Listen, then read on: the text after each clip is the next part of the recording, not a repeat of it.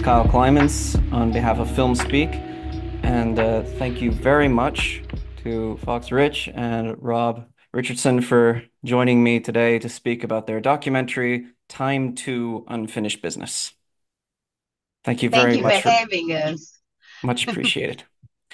Um, so, as some of us will know, um, it's a sequel to an Oscar-nominated documentary called Time, which details your lives in regards to also Mr. Richardson, uh, sorry, Rob's incarceration. So, when did you decide that you'd make a sequel to that film?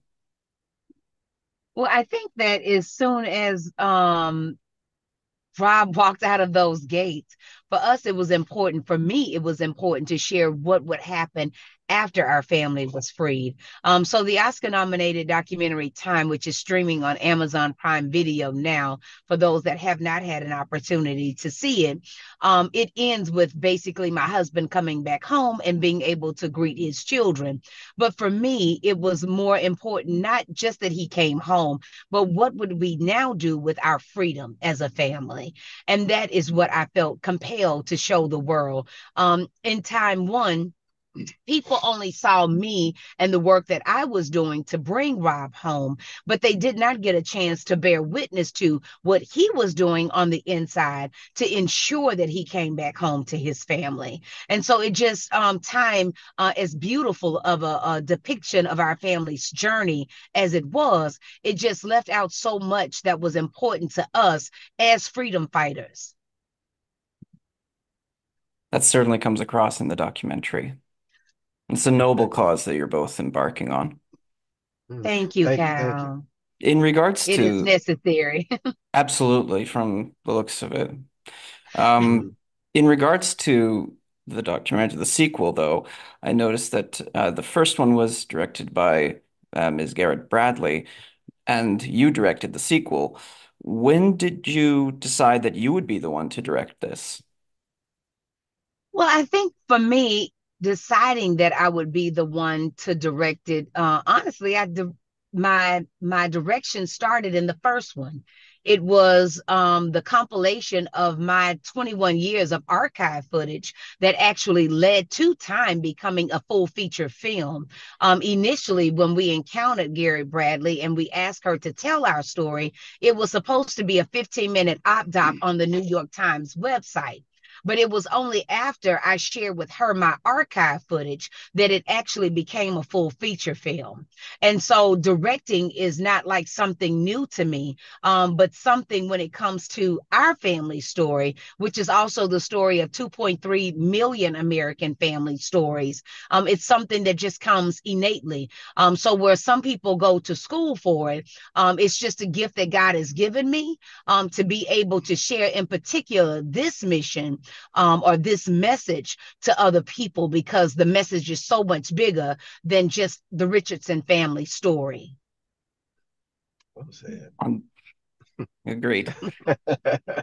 Actually, um, speaking of that, um, all that archive footage, I did notice that um, I read up a bit on the first film, and there were thousands of hours of footage to go through. And in the sequel, of course, that's continued the trend. I mean, you've and you've got what 30 years worth of footage to. How did you like? How did you manage to like what? How did you choose which clips go into the film? Um, I think that as we were putting together the storyboard for what would actually be a part of this sequel documentary, um, we were very intentional about what we wanted to share, um, what we thought would be important to our viewers, um, showing people that it wasn't a fairy godmother that came along and helped us obtain freedom for ourselves or for other loved ones, um, but that the intentionality that was behind it was important for us to share. We thought it was important to share in this climate um, that Rob was not just a black man sitting behind prison bars playing dominoes and cards, waiting on somebody to come and rescue him, but that he was deeply involved in his own liberation and restoration to his family. Um, also showing that even in spite of the incarceration, that love is the most divine chemical in the universe, and it dissolves everything that is not of itself. So even prison walls couldn't keep our family's bond from breaking. And, you know, I just think that that is the most important of the elements that we could possibly share about our journey is that love never fails because we never fail to love, as Rob shares when we um, were newlyweds. It's beautiful sentiment. Um, speaking of that, uh, one thing that I thought Time 2 did really well on that note was just how it portrayed the incredible bond that you two share as a couple. The way you defied all the obstacles which that you faced while you're raising this family that and what a celebrated family it is. What an accomplished Mm, family, I mean to say it mm. Um, Thank you. with that in mind, when you were making Time 2, was there ever a separation between your relationship as a couple and your relationship as director and, for lack of a better word, documentary subject, so to speak? Oh. That is such a That's good a good question, question. Cal. Yes. I think um probably I don't even know. Um I think you're just so zoned in to what you're striving to do. And I think the beautiful part about what we did in time two was the same thing I did in time one. I just documented these moments, the work that we were doing, I just documented. So it wasn't like I'm telling him, you know, say this or go there or let me get this shot. I just said, whatever I capture, uh, um, as our reality. Because one of the things that I learned first as I um, undertook, um, as I went into undertaking the role of director on this project, um, the producer that we brought on board, um, D- Daniel LaFrance, who is a UCLA graduate and um, has his master's in filmmaking from UCLA, he gave me the gift of a book called Directing the Documentary. And like the first page in there, it defines what a documentary is. And, and the gentleman that is considered the father of documentaries is a gentleman by the name of Robert Flaherty from Louisiana. And and so I'm like feeling a kindred spirit. And in there, he gives the definition that says that when you take recorded re, um, Pieces. pieces of recorded reality and organize Yeah. them and creatively organize them into a narrative, you have made a documentary. And so that's what we did. We just recorded reality, pieces of our reality, put them into a narrative, and we made a documentary. Uh, if if I could ask a question of Rob, um, hmm in your personal experience making the film, what was the most challenging aspect? Probably um two parts. Uh, one of the most challenging ex aspects when you come behind such a celebrated um uh body of work that Time the first uh documentary, you know, ultimately uh became and you know is.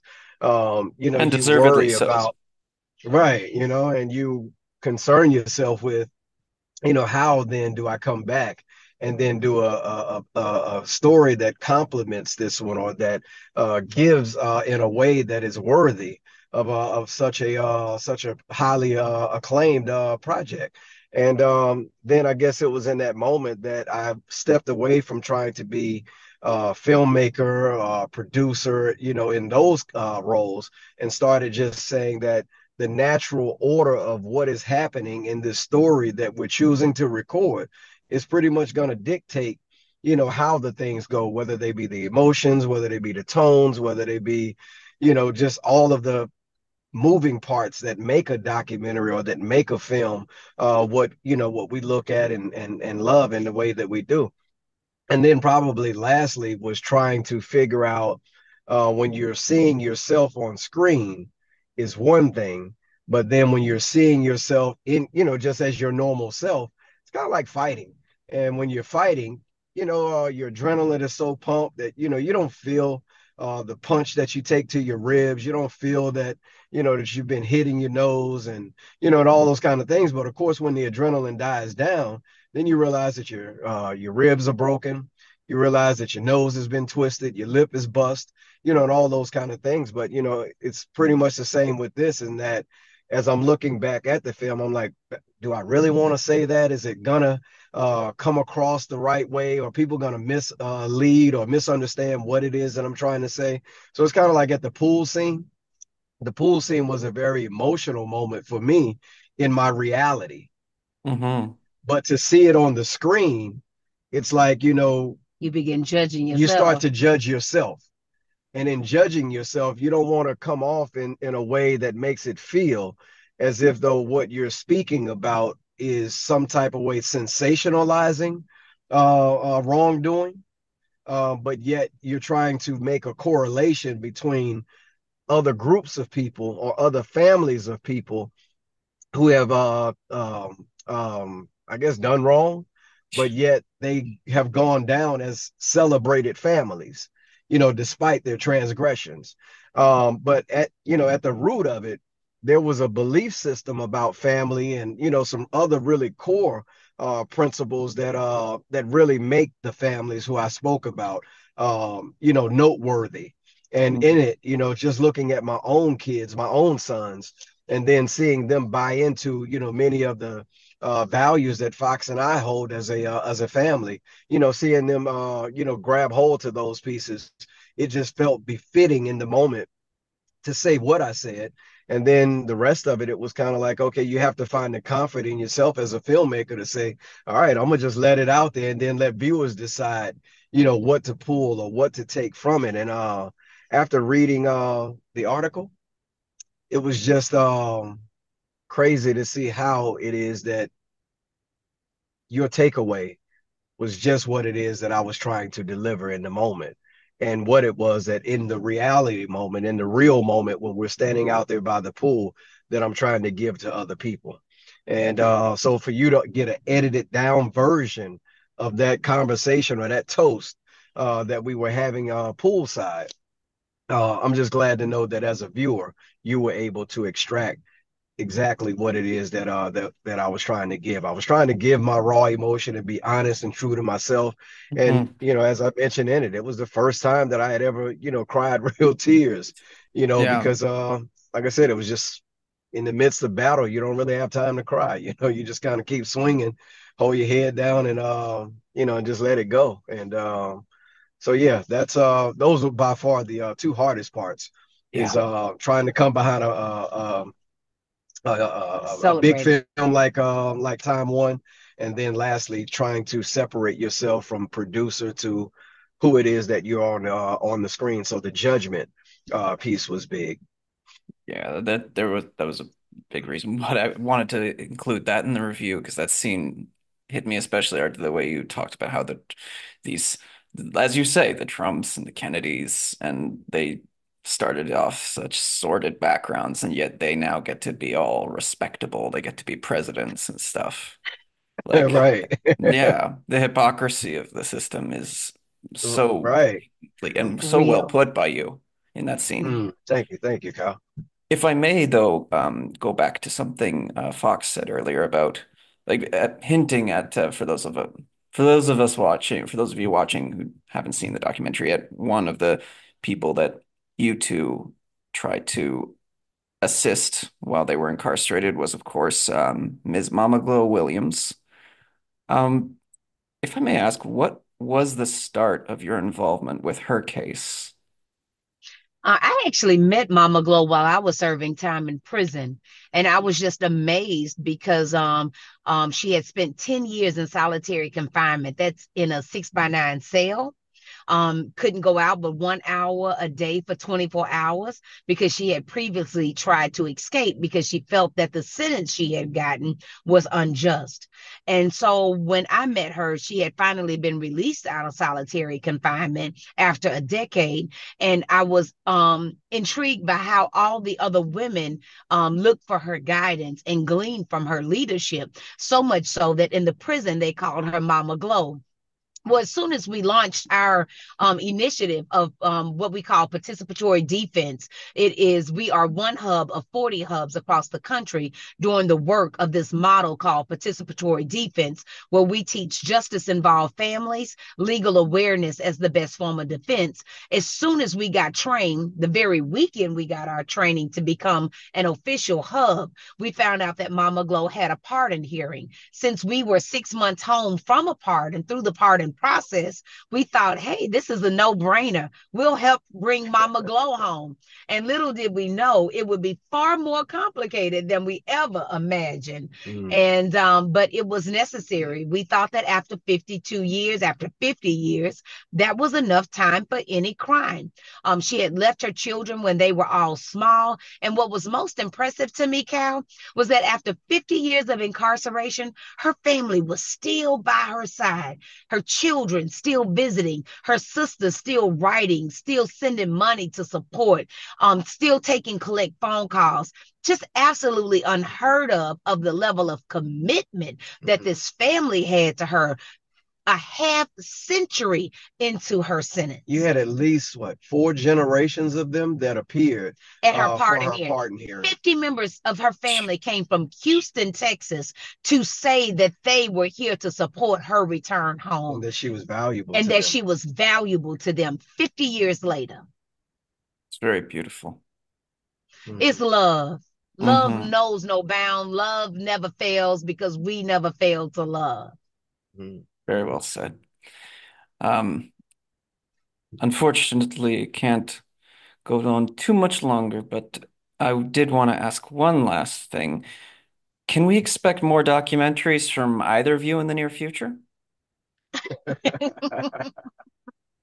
Yes, yes, yes, yes. Until you know, Rob and I are on a mission, Cal. We we um seek to be nominated for a Nobel Peace Prize for the work that we are doing to end mass incarceration in America. We would make the seventh couple uh, to uh, to be uh, to be recognized uh, to win at, the know, prize, to win the prize itself win. as a couple. Uh, so with that being said, like Fox mentioned, uh, it is what we're hopeful for that um, that in a, a free society, a so-called free society that we have here in America, that we enjoy here in America, to know that there is still uh, an, uh, uh, a chance of slavery um, being real for any one person that uh, commits an offense in this country means that we are still very much uh, a, a, country that is uh, still linked, that is still part of a of a nasty past that we once had, and until we can um, rectify that and make uh you know make amends of it, um, we'll be continuing to do this work. Uh, so like uh, Louisiana mentioned, leads the world in incarceration, and our so, country leads the world. So if we change Louisiana, then we, you know, in inherently change the world. And um, and with that being said, if we accomplish what we set out to do, somebody might write to Switzerland and tell us, hey, these cats down in New Orleans, they are doing something noteworthy, and we should honor them. Well, for my part, um, if they can give a Nobel Peace Prize to Henry Kissinger, they should have given one to you ages ago. Wow. They well really said, should have. thank um, you, Cal. May I may I thank you once more for taking the time out of your day mm-hmm. to to uh, sit with us and talk uh, about this incredible experience and this very good documentary. And mm-hmm. I wish you all the best on your future Thank endeavors. you so much, Cal.